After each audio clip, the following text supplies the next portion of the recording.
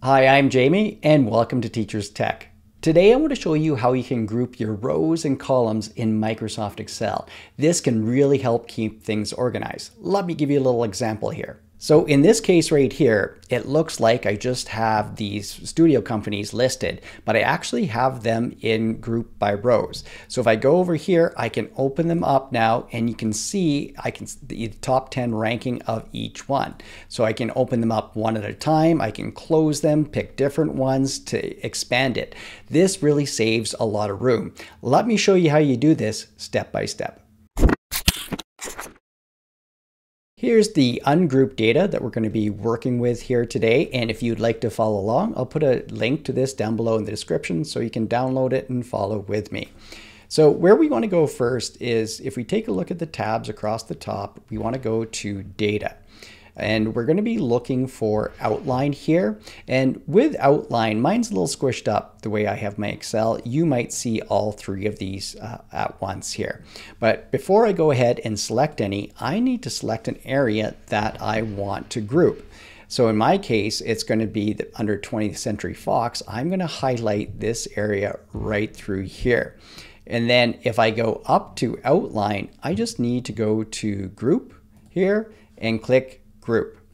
Now I can go from rows or column. I'll give a little demo with the columns later, but this works best with rows on this uh, data that I have. So I'm going to go ahead and hit OK. So it doesn't look like much happens, but if I go over to the left, take a look at this right here. I can uh, just click this and notice that 20th century 20th century fox is all condensed underneath. So I can open it up by clicking it again. And if I go again I can go ahead and highlight the area that I want. This time I want to show you a shortcut. If I go ahead and hold Alt, Shift, and then press the right arrow, it goes right to the group here. And now I can select my rows and hit OK. So that's what I would recommend doing it that way. The shortcuts eh, make this a lot faster to do. Control Alt right arrow and we can undo this and I'll come back and show you how we do this. But first I want to do this to each of these. So I used the shortcut and quickly went down the list.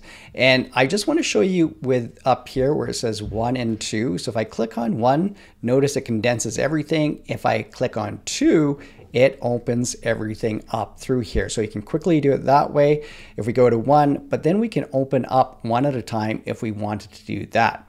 So now that we have these here, how do we get rid of them? Well, what we can do is if we go, let's go to this one right here. If I go and highlight the area, the range that I have grouped already, I could go to outline up top and we have ungroup here. So I'll go ungroup here and it's rows, hit OK. And now what you'll notice is that, so if I go click on one, this isn't grouped anymore, so this is going to stay the same place.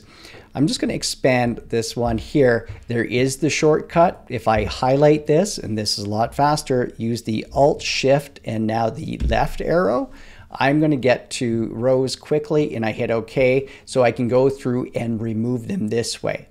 Now you can do this with columns as well. So if I just go to the second tab here, and depending on where I click under what column, I'm just going to click under movie uh, name and I'm going to use the shortcut. So I'm going to use the Alt Shift right arrow and I'll click on columns and I hit OK. So now I have this up top here. So if I hit I can close it. So now we don't see the movie name. And I could add more of these to the different columns, just like I showed you with the rows.